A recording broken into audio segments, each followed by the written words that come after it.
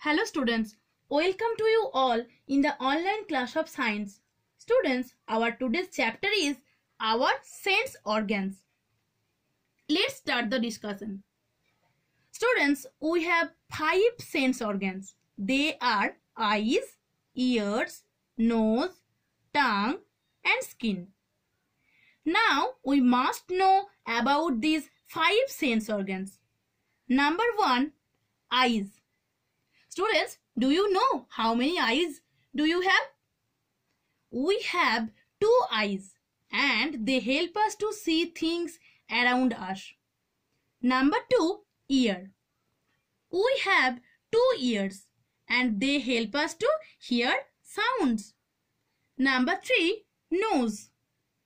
We have one nose and it helps us to smell things. Students, we know that pleasant smells are liked by us, but we dislike unpleasant smells. Number 4. Tongue. We have one tongue and it helps us to taste food. Number 5. Skin. We have skin all over our body and it helps us to feel. So students, these sense organs are very much important to us. They are actually our real companions.